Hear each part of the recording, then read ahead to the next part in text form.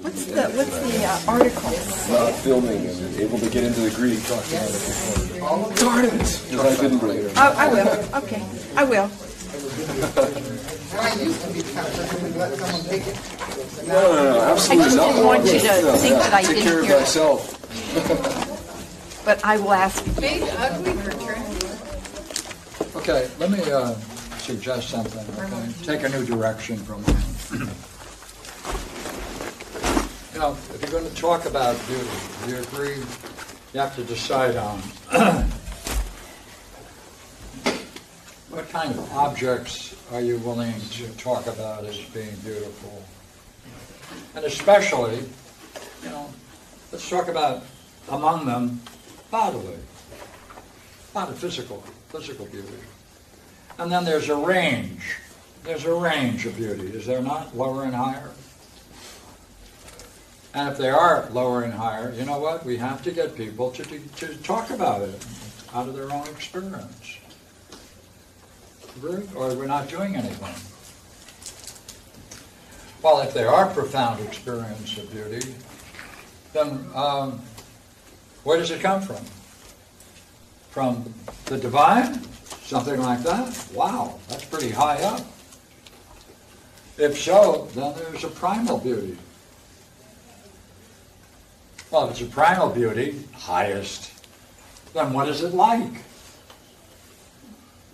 And if you know what it's like, you ought to be able to say what it is. Agree? I mean, so we don't have to read Plotinus tonight. We just get it. No? No. Well, what if we want to? Because which one of these can you speak about yourself? One or two? Which one? All of them. All of them. See that? I told you we don't need to speak about them. We don't have to read the Plotinus. I'll take them all. We don't need to read any of philosophy then, Yeah, because because we can talk about all of it. not, uh, not we, you. Oh, okay.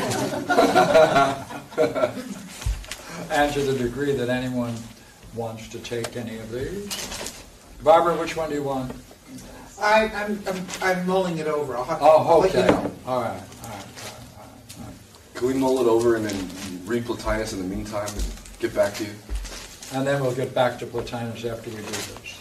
okay. All right? Okay? Because, yeah. That's not what I said, but Well, I had to make a little change. Pierre, uh, in terms of bodily beauty, Yeah, okay. uh, one of the things that, that strikes me is, have you ever seen sculpture by Rodin? probably not. This one? He's at the Pasadena The thinker? Museum. No, no, no. Have you ever seen sculptures by Rodin? Yes. Okay. One of the- Especially the one he calls the poet. Hmm, I'm not familiar with that one. That's the one that they mislabeled called the thinker. Oh, that one. You know, the, originally, no, his title to it was the poet, Poeta. not the thinker. Oh, Go ahead. okay, yes. Uh, One of the things that, when I Where's that saw going with the- a lot of, and I- there's a lot at the Norton Simon Museum, this one, right? incidentally. Yeah. And that's where I saw quite a few of his pieces. And one of the things that struck me after looking at them for a while is his portrayal of bodily, and most of them are in the Greek tradition, they're all, you know, naked. You know, they're without clothing. And one of the things Noble that son. struck me, you know, is that the, they were of a, a most beautiful nature, yet they were not what we would call Greek uh, Sure. symmetry. No. But No. still, when you look at them, you begin to see the radiation of that portrayal. And Well, I- Then I it fits. yeah, and for me. Yeah. And so, you know, I have to think that there's got to be something else there No. No. besides that. No, so It can't be. If so, then we go here. Right, Higher. right. And if this is true, we go here. Like the idea, the form part of Yeah. Plotinus. How form brings beauty. Well, what about this? Think this is a fair way then to proceed? What you were reading earlier. The only reason, I know what to do. Let's call on Julie to decide. Julie? Monk. Thank you. You um, count on her for those. You know, I actually,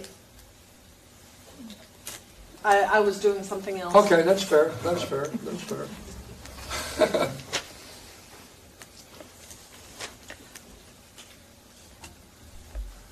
I've experienced divine Well, beauty. I'll tell you what. Let's use the suggestion that was raised. And why don't we start with this one? now? Now, if you like this way of approaching it, this is Plotinus's way of writing the section on beauty. Mm, This is the way he proceeds. nice. And notice he avoids all of this modern talk of who's to say what's beautiful and who is who is not, and uh, how can you possibly say it's beautiful, and all of those questions. Because look at the splendid way he starts. Right? Section two. Look at it.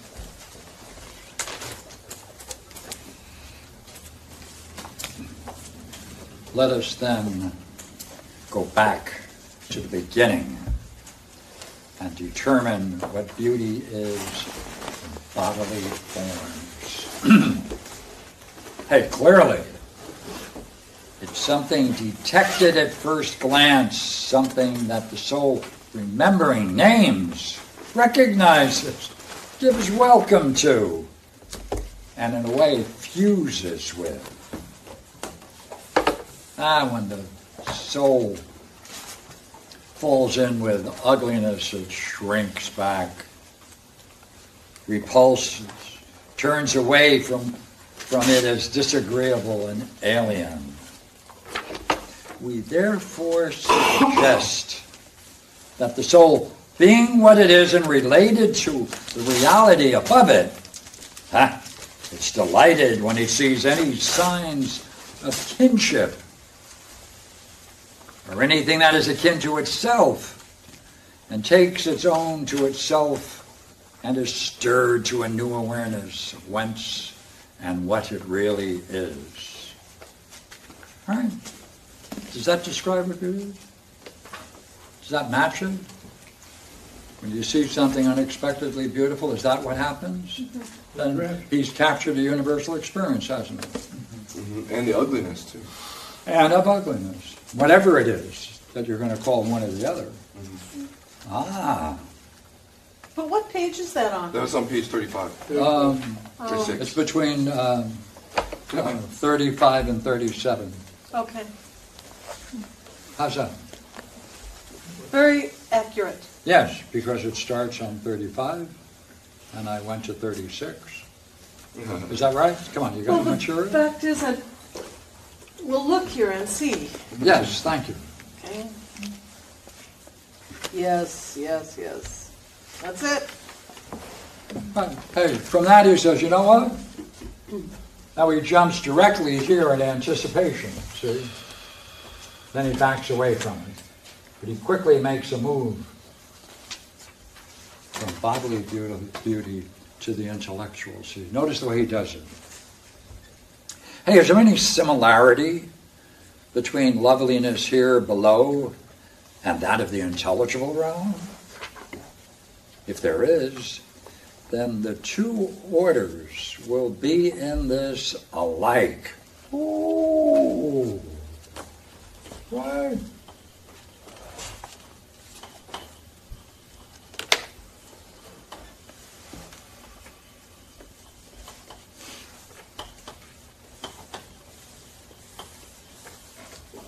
there must be something about them that is alike. Find some commonness, see that? Huh? What can they have in common? Beauty here and beauty there. I'll tell you what it is. They're the shares in the same idea. Capital I. They both share. See? So he moves quickly from bodily beauty in one paragraph, anticipates the next section, and finds a commonness between the two, something alike.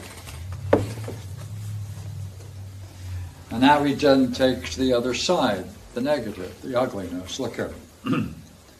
as long as any shapelessness that admits of being patterned and shaped does not share in reason or in idea, it continues to be ugly and foreign to that above it. It is utter ugliness, since all ugliness comes from an insufficient mastery by form and reason. Matter not yielding at every point to formation in accord with idea. Notice now, when idea enters, see, when idea enters in, when idea enters in, it groups, arranges what from a manifold of parts becomes a unit.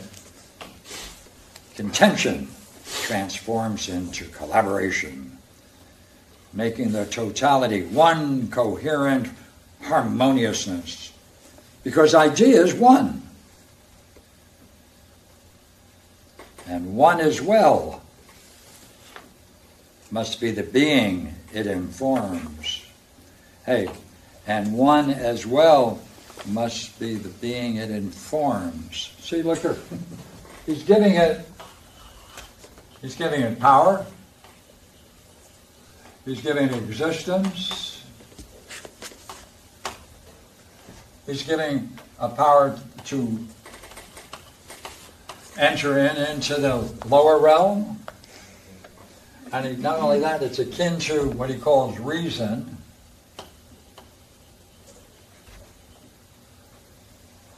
And, you know, any lump of anything, when you start, um, you chip away here, chip away there until the form emerges, right? Until the form emerges. What are you bringing out? You're bringing out an idea. To the degree that the material resists it, then you're using the wrong material. But if not, your skill has to be used to just take this out, that out, this out, right? Smooth it out until finally you have what you want. It's an idea. In what is thus compacted to unity, its beauty resides right there. Present to the parts, to the whole. And what is naturally unified, its parts become all alike. Beauty is present to the whole. Thus, there is the beauty craftsmanship confer upon a house, let us say, and in all its parts. And there's beauty, right? There's the beauty some natural quality may give to a single stone, right? That's right.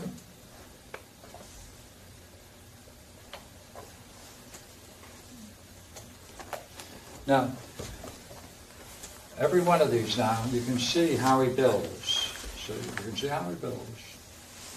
When he talks about this, he's going to anticipate this. He talks about this, he's going to anticipate this. The whole thing. The whole thing. You know what?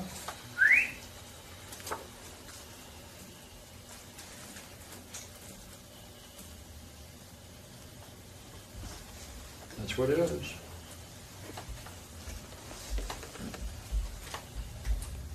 It itself is a work of beauty.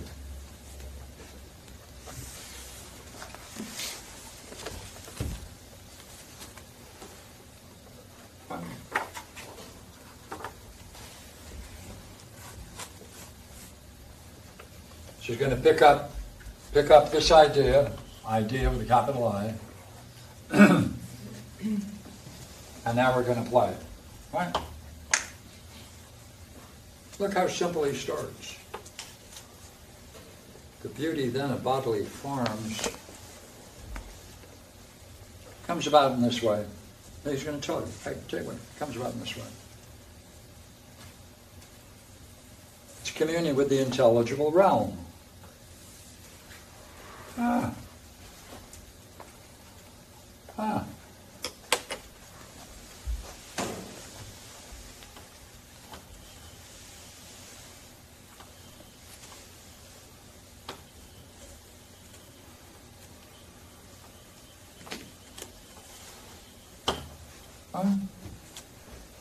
Communion, bringing together into a unity. See? It's communion. It's communion with the higher, with the intelligible. Hey, you know what? Either the soul has a faculty that is particularly sensitive to this beauty, one incomparably sure it recognizes what's akin to it, while the entire soul concurs, or the soul itself reacts without intermediary, affirms a thing to be beautiful if it finds it concord, concordant with its own inner idea. Should use this as a canon of of accuracy. Hey, where's that idea? Also, in us. Ah, symmetry. Ah, symmetry. Balance, perfection, order, themes, balance, right? All of this. It's in all of this together. See? That's an idea.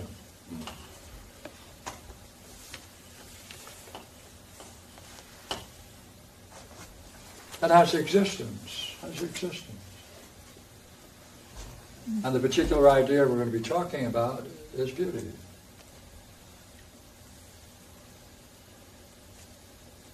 What's the, what's the significance of these two differences? I mean, one one has a faculty, and yet one is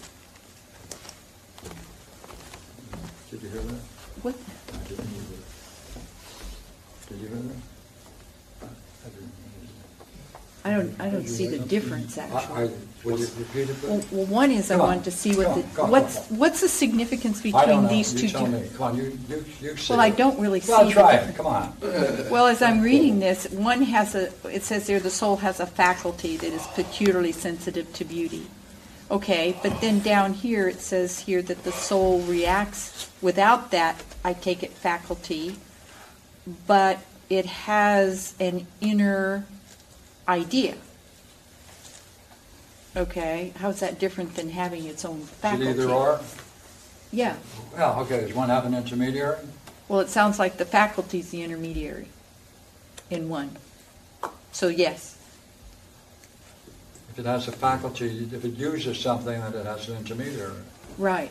If it has an intermediary, then it's not correct. Okay. Which is it? And for him.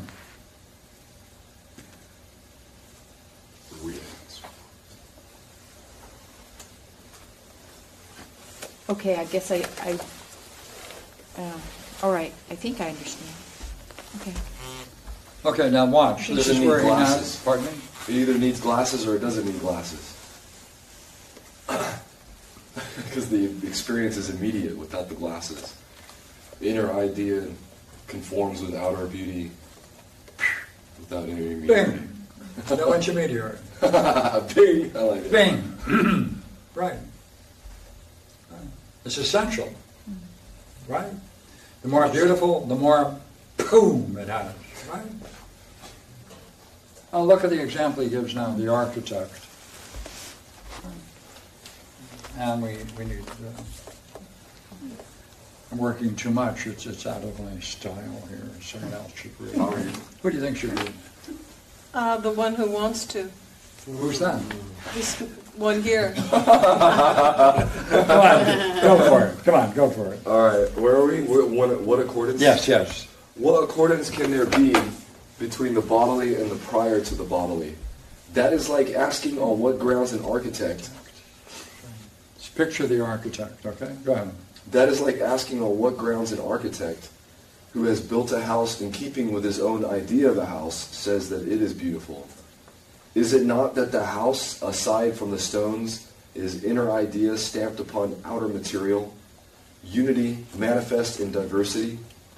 When one discerns in the bodily the idea, capital I, that binds and masters matter, of itself formless and indeed recalcitrant to formation, and when one also detects an uncommon form stamped upon those that are common, then at a stroke one grasps the scattered multiplicity, gathers it together, and draws it within oneself to present it there to one's interior and indivisible oneness as concordant, congenial, a friend. Right, is that great? Yeah.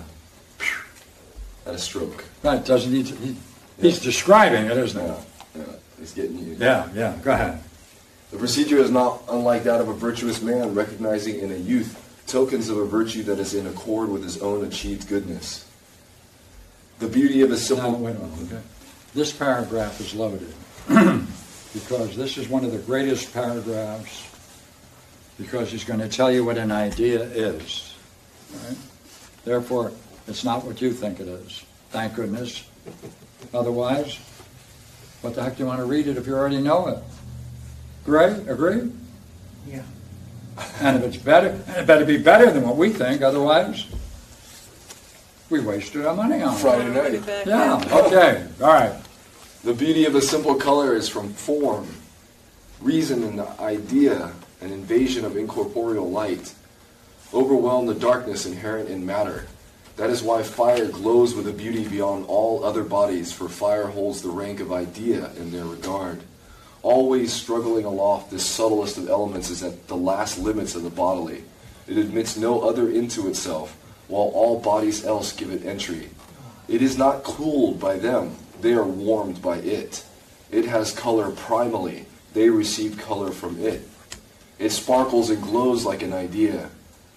Bodies unable to sustain its light cease being beautiful because they thus cease sharing the very form of color in its fullness. Okay. All right. What is it he just described? Fire and idea. The analogy of fire to idea. Idea as an invasion of incorporeal light. Yeah. Sometimes called a form or an idea. What's it like? Light. What Being kind? pervaded by body, bodiless light. I like it more. Hmm. Being overwhelmed, it says. Overwhelmed. Hmm. See, it's like fire. Okay, so stay with that image, and everything he says about fire, you're going to say about idea on a more elevated and profound level. Are you not? Okay. Yeah, do it, Barbara. Well, then, idea would glow with a beauty beyond all other. For idea holds a high rank, always struggling aloft. Well, fire is like an idea insofar as fire struggles aloft. One assumes fire would be aloft. And fire is at the last limits of the bodily, which would mean that therein lies its similarity to idea. Hmm. Well, It admits no other into itself. So it has to be pure. Or it, it's the last element that can be participated by the. that's right. yeah. It has a relationship to other bodies. Right. Right. So that holding rank is holding the rank of Most idea in that regard, in, in respect to the relationship of fire to all other bodies. Right, but you want to make a point about idea. Well, no, no. What I'm trying to say, what I'm trying to say is, with the, like you brought up holding rank, high rank, but the full quote is holding high rank in the regards to other bodies, all other bodies. So he gets the whole idea as participatory model with that, with that one line, and then continues the. Uh, No other body has inner Description. light too as well, so that's, that pushes it along. Yeah, look at this. I don't know. I didn't get that. The connection between the conclusion you made. He's still, he's still going back and forth. See, It's part of this whole description Still going back and forth. So, what is this idea, of beauty? It sparkles and glows. It's a pretty interesting notion of an idea, is it not? Look, her- look what it does. It has power. It sparkles and glows. And notice then, whatever has it must sustain it. It must be able to sustain it for as long as it has the beauty it has. That's rather curious. When it ceases sharing in it, uh, ugliness begins. Would you not agree that's a rather different way of looking at the idea of beauty? It has the power. It's a thing. It exists. It has an existence. So, would you not agree we should get some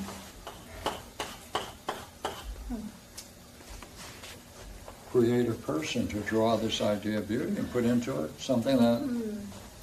sparkles and glows. It's got power.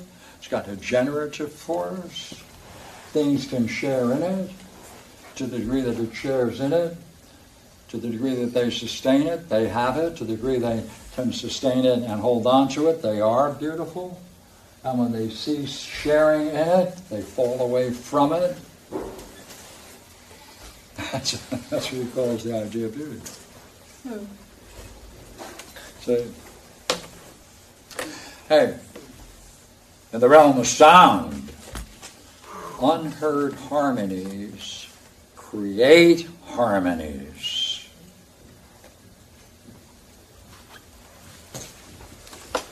Hmm.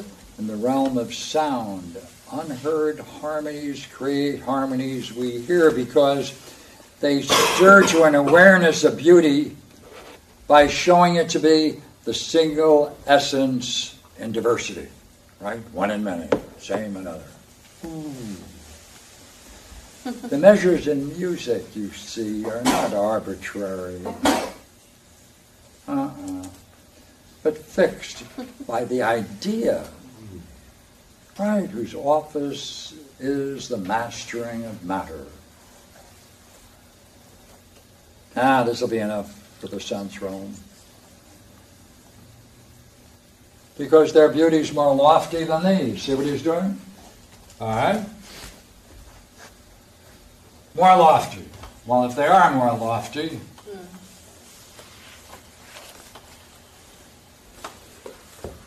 what's that to us?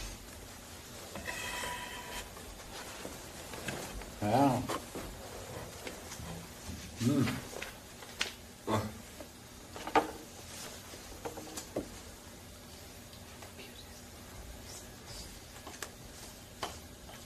These go together, four and five. Okay?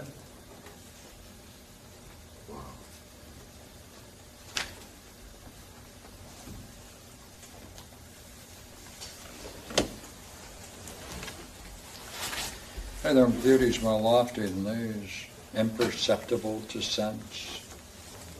That the soul, without aid of the sense, perceives and proclaims. To perceive them, you know what you got to do? Got to go higher, leaving sensation behind. Now, you know what? It's impossible to talk about bodily beauty. If one, like, uh, if one's born blind, has never seen and known bodily beauty. In the same way, it's impossible to talk about the luster of right living and learning, of the like, if, if one has never cared for such things. You know, never been concerned with the face of justice and temperance. Seeing of this sort, that's not done with the eyes, it's done with the eye of the soul. And so seeing wonder go wonder undergoes a joy. Wonder, distress, more deep than any any other because one touches truth. Such emotion all beauty must induce an astonishment, a delicious wonderment, a longing, a love, a trembling. It's all delight may be felt for things invisible, quite as for things you see. And you know, the soul does feel it. All souls, they feel it. but souls that are apt for love feel it uh, especially. Uh, bodily beauty. All perceive it. But uh, not everyone is stung sharply by it. Only those who are called lovers. Therefore, you know what? It's time. These lovers of beauty beyond the realm of sense must be made to declare themselves. Time's up now, okay? All right? Speak up. Tell us who you are. Line up. Eloquent speeches, well worded, well rounded, and expressing the essence of what you've experienced. Nice. Here, I'll start off. Uh-huh. Plotinus. Go ahead. Want to jump into that? Sure. Go ahead.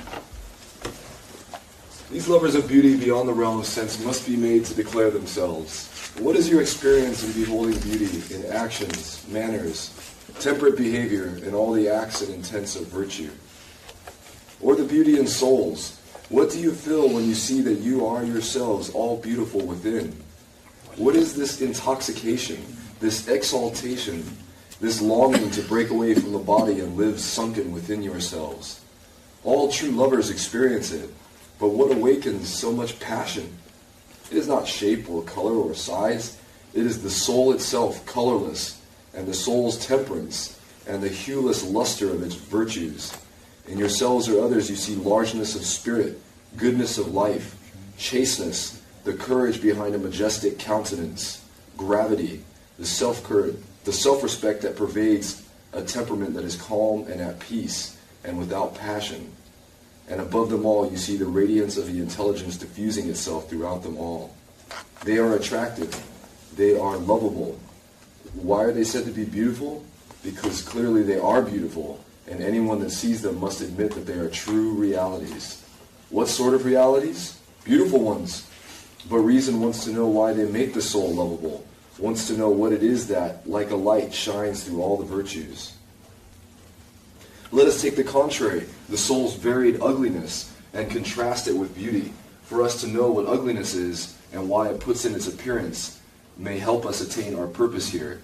Take then an ugly soul. It is dissolute, unjust, teeming with lust, torn by inner discord, beset by craven fears and petty envies. It thinks indeed, but it thinks only of the perishable and the base. In, in everything perverse, friends of filthy pleasures, it lives a life abandoned to bodily sensation and enjoys its depravity. Ought we not say that this ugliness has come to it as an evil from without, soiling it, rendering it filthy, encumbering it with turpitude of every sort, so that it no longer has an activity or a sensation that is clean? For the life it leads is dark with evil, sunk in manifold death. It sees no longer what the soul should see. It can no longer rest within itself, but is forever being dragged towards the external, the lower, the dark.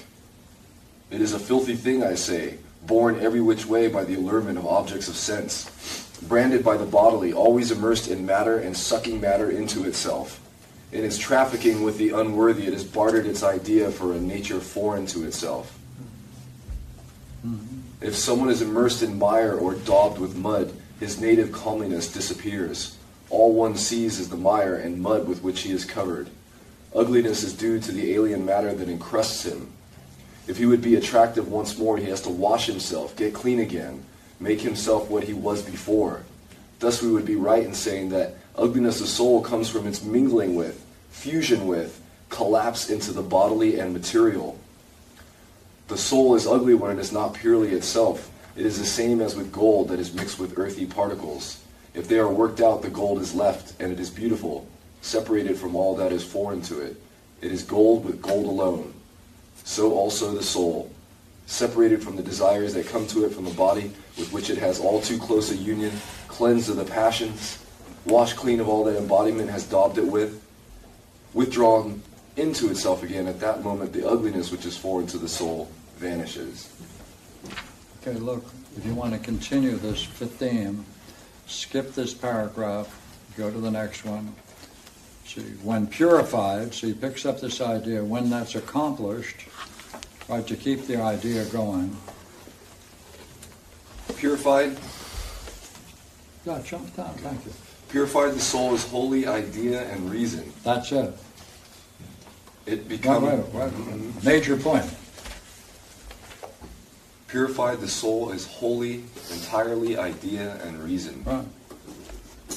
Therefore, if this is what we're calling soul, I mean, this is what we're calling idea, and this is soul, what state is the soul in?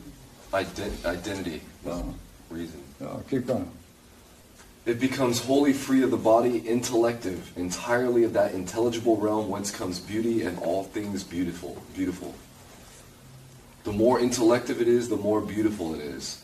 Intellection and all that comes from intellection is for the soul a beauty that is its own and not another's, because then it is that the soul is truly soul.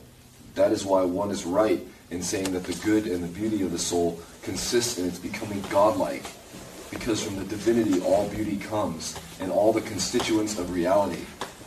Beauty is genuine reality, ugliness its counter. Beauty is genuine reality. The nature of reality is beauty itself. Symposium calls it the perfection of beauty. So if one grasps the nature of ultimate reality, wow, man, How of a view that is, right? Full of beauty, radiance, right? Reason. Sparkles, glows, right? And the longer you stay with it, you got it. To the degree that it slips, you see sharing in the experience. So we keep going. Beauty is genuine reality, ugliness is counter. Ugliness and evil are basically one. Goodness and beauty are also one, or if you prefer, the good and beauty. Therefore, the one same method will reveal to us the beauty good and the ugliness evil. First off, beauty is the good. From the good, the intelligence draws its beauty directly. The soul is, because of the intelligence, beautiful. Other beauties, those of action or behavior, come from the imprint upon them of the soul, which is author too of bodily beauty, a divine entity and a part, as it were, of beauty. The soul renders beautiful to the fullness of their capacity all things it touches or controls. Therefore must we ascend once more towards the good, towards there where tend all souls. Anyone who has seen it knows what I mean in what sense it is beautiful. As good it is desired, and towards it desire advances. But only those reach it who rise to the intelligible realm, face it fully, stripped of the muddy vesture with which they were clothed in their descent, just as those who mount to the temple sanctuaries must purify themselves and leave aside their old clothing, and enter in nakedness, having cast off in the ascent all that is alien to the divine. There, one in the solitude of self beholds simplicity and purity, the existence upon which all depends, towards which all look, by which reality is, life is, thought is. For the good is the cause of life, of thought, of being. Seeing with what love and desire for union one is seized, what wondering delight! If a person who has never seen this hungers for it, has as for his all, one that has seen it must love and reverence it as authentic beauty, must be flooded with an awesome happiness, stricken by a salutary terror. Such a one loves with a true love, with desire of that flame. All other loves than this he must despise, and all that once seemed fair he must disdain. Those who have witnessed the manifestation of divine or supernal realities can never again feel the old delight in bodily beauty. What then are we to think of those who see beauty in itself, in all its purity, unencumbered by flesh and body, so perfect is its purity that it transcends by far such things of earth and heaven? All other beauties are imports, are alloys, they are not primal. They come, all of them, from it. If then one sees it, the provider of beauty to all things beautiful, while remaining solely itself and receiving nothing from them, what beauty can still be lacking? This is true and primal beauty that graces its lovers and makes them worthy of love. This is the point at which is imposed upon the soul the sternest and uttermost combat, the struggle to which it gives its total strength in order not to be denied its portion in this best of visions, which to attain is blessedness. Okay? Now, seven, you can pull out his whole metaphysics. What we just read, you can pull out his whole metaphysics.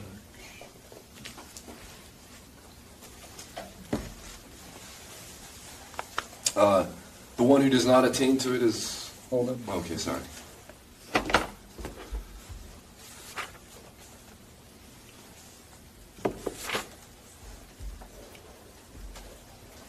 Would you agree the opening paragraph after the introduction is purification again? The language of the mysteries. I'm about four lines from the bottom of page 40.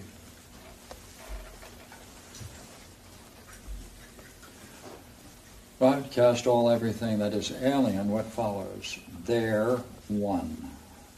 In the solitude of self, beholds simplicity and purity.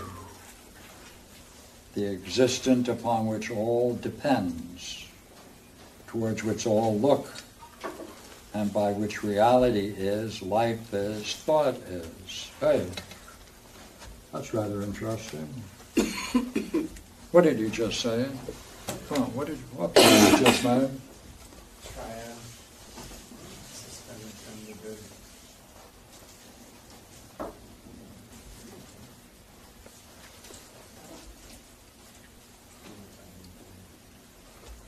Isn't he talking about the experience of one? The good, yeah. Being there with the good.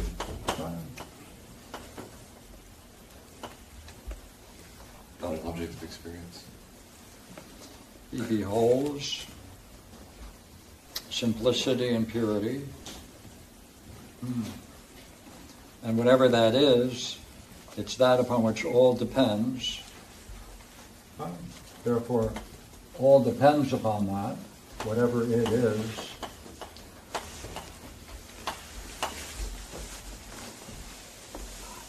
Reality is. Towards which all look, by which by which there's a very source in, therefore it's the source of reality, life. What? See what he's doing? Thought. Life, Intellection. Intellect, right, of thought.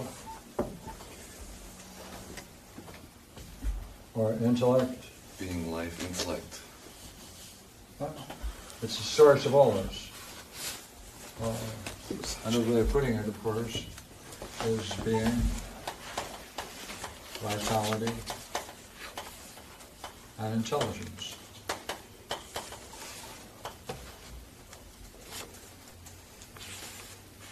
Then he labels it. You know what this is? The good.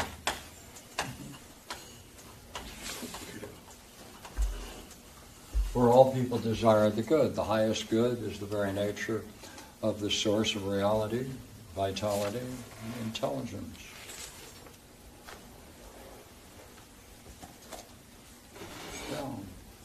For the good is the cause of life, of thought, of being.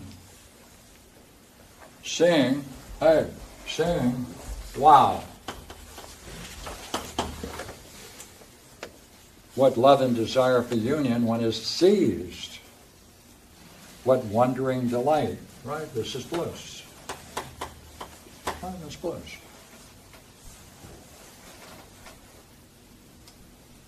One that has seen it must love and reverence it as authentic beauty.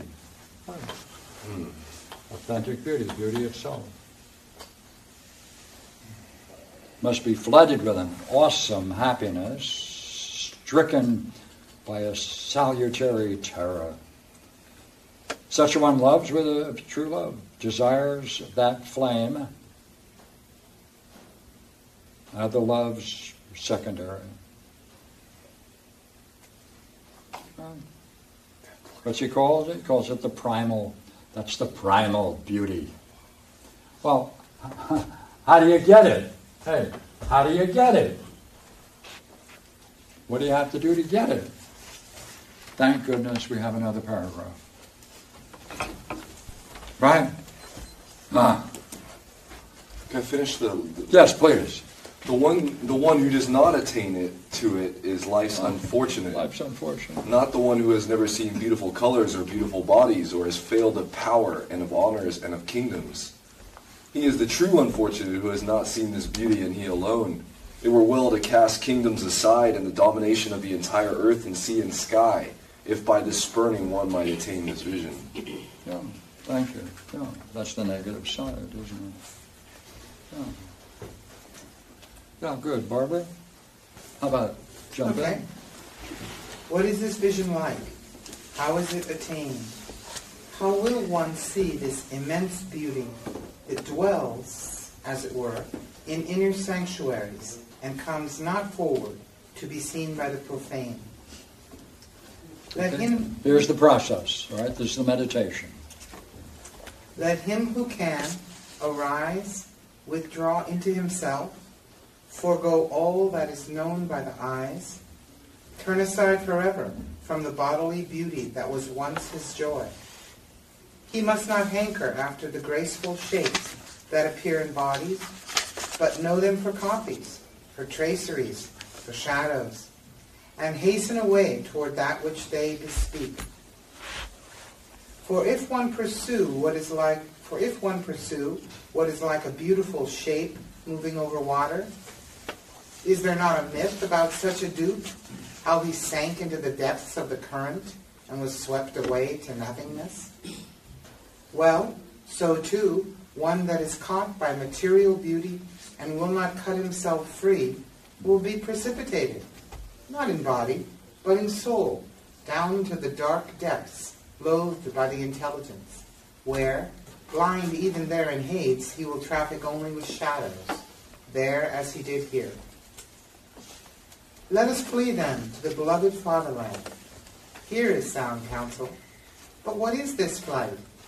How are we to gain the open sea? For surely Odysseus is a parable for us. Here, when he commands flight from the sorceries of a Circe or a Calypso, being unwilling to linger on for all the pleasure offered to his eyes and all the delight of sense that filled his days. The fatherland for us is there, whence we have come.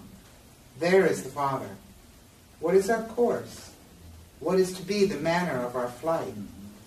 Here is no journeying for the feet. Feet bring us only from land to land. Nor is it for coach or ship to bear us off. We must close our eyes and invoke a new manner of seeing, a wakefulness that is the birthright of us all, though few put it to use. Yeah, Nice piece of work. Yeah. Yeah, yeah, yeah. Okay, then, uh, what is this inner vision? Like anyone just awakened, the soul cannot look at bright objects. Must be persuaded to look first at beautiful habits, then the works of beauty. Produced not by craftsman's skill, but by the virtue of men known for their goodness. Then the soul of those who achieve beautiful deeds. Now look here. How can one see the beauty of a good soul? Hey, you know what? Withdraw into yourself and take a look. if you don't see it, you know what you ought to do? Do as a sculptor does. Right? Do as the sculpture of a statue. That is to be beautiful. He cuts away here, he smooths it there. He makes this line lighter, the other one purer, until he disengages beautiful lineaments, lineaments in the marble. Do you do this? Right? do you this too? Cut away, you know, all that's excessive. Straighten out all that's crooked. Bring light to all that is overcast. Labor to make all one radiance of beauty. Hey, never cease. Working at the statue until there shines out upon you from it the divine sheen of virtue, until you see perfect goodness firmly established in stainless shrine. Hey, have you come like this? Mm-hmm. To see yourself abiding within your soul in pure solitude? Does nothing now remain to shatter that interior unity? Nor anything external cling to your authentic soul? Hey, are you entirely that soul true light, which is not contained by space, not confined in any circumscribed form, not diffused as something without form or term, but unmeasurable, Ever. Greater than all measure, more than all quantity. Do you see yourself in that state? Then you become vision itself. Be of good heart. remaining there, you've ascended aloft. You don't need a guide. No, no longer. Strain, take a look, see. Only the mind's eye can contemplate this mighty beauty. But if it comes to contemplation, purblind with vice, impure, weak, without strength to look upon brilliant objects, eh, you know what, it sees nothing. Even if it's placed in the presence of an object that can be seen. Here's his principle. that the eye must be adapted to what is to be seen, have some likeness to it, if it would give itself to contemplation. No eye that has not become like unto the sun will ever look upon the sun, nor will any that is not beautiful look upon the beautiful. Let one therefore become godlike and beautiful, who would contemplate the divine and the beautiful. Now go ahead. Go ahead. So ascending, the soul will become first to the intelligence. Survey all the beautiful ideas therein. Will avow their beauty, for it's by these ideas that there comes all beauty else, by the offspring and the essence of the intelligence. Now, look here, what is beyond the intelligence we affirm to be the nature of good radiating beauty before it. See that? That's where he puts it. What's beauty? Radiating before the good. Sometimes called the vestibule of the good. Thus, in some, one would say that the first hypothesis is beauty. But if one would divide up the intelligibles, one would uh, distinguish beauty, which is the place of the ideas from the good that lies beyond the beautiful and is its source and principle. Otherwise, one would begin by making the good and beauty one and the same principle. In any case, it is in the intelligible realm that beauty dwells. Nice piece of work.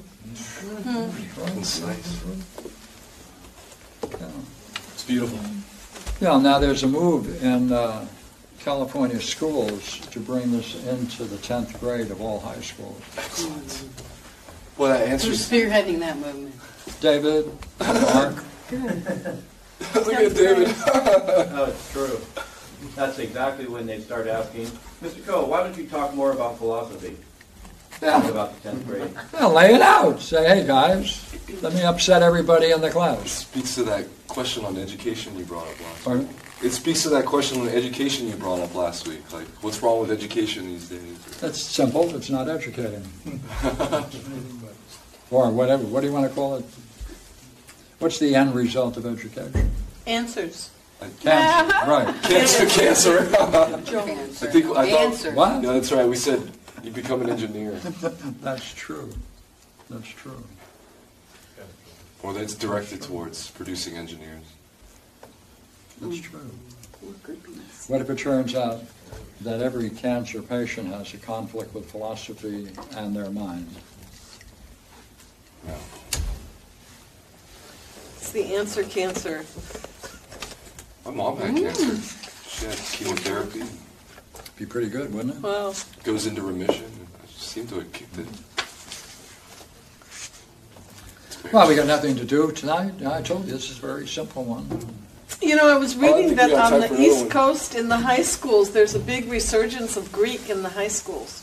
Greek. Greek. I just talked to the college president, Golden West College, and I told him to put Greek on the, on the program. Oh, good, And uh, he's a good guy. I'll- I'm going to follow it up. good. I told him I know, you know, the old statement, if you rub two, two Greeks together, out comes a Platonist. No, is that Boy Scouts? Rub two Platonist together, you get a fire? Something like that. I always get these statements mixed up. But I hope, I hope that's what happened.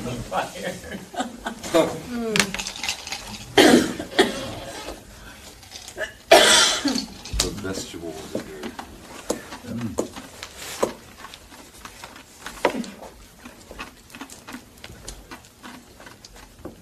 Uh, like the language of the mysteries in chapter seven. Make a Christmas gift. Yeah. Oh, yeah. This would be good. Well, Hmm.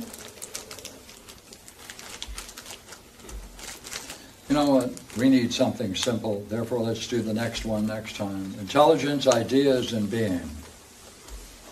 Right? Leave it open. What else do you want to talk about, Barbara? I don't have another wish right now. That sounds good to me. All right, all right, all right, all right. Hold I have a question. You know, in my psychology class, I like to introduce the students to philosophy that talks about the soul.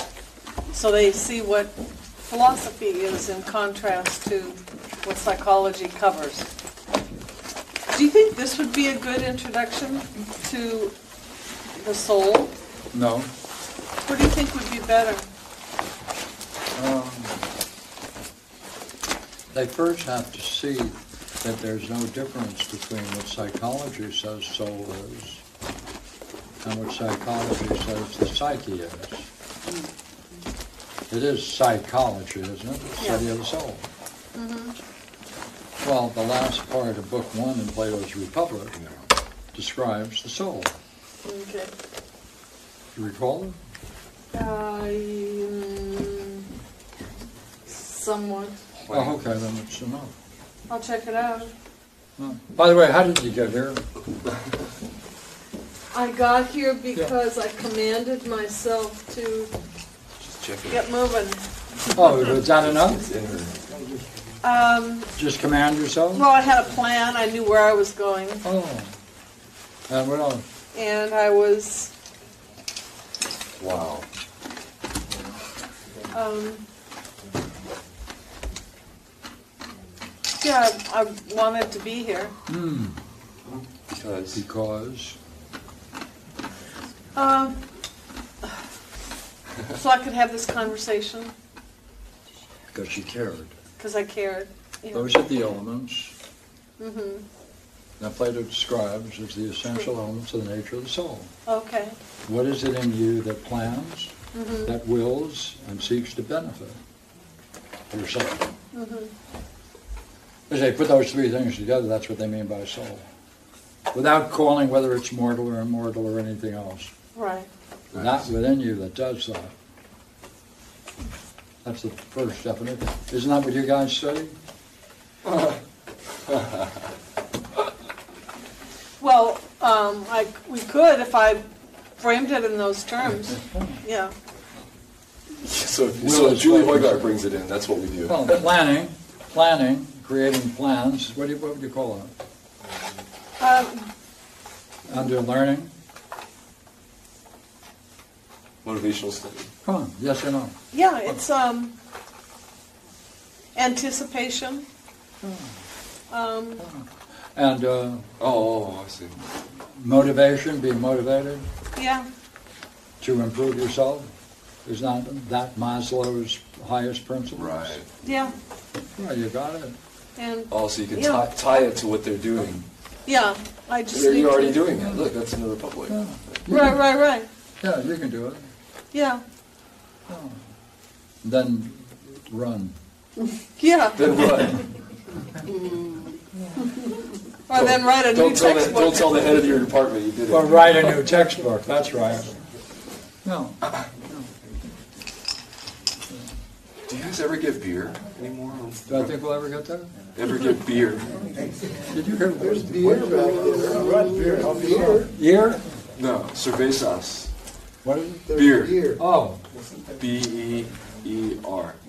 In the refrigerator now. Oh, really? Okay. Yeah, but Can I- it's a good can I- beer. hold on, Barbara. I just need to make this announcement one more time because Rod, Rod compelled me that I make this announcement, which is, not everybody was here, but.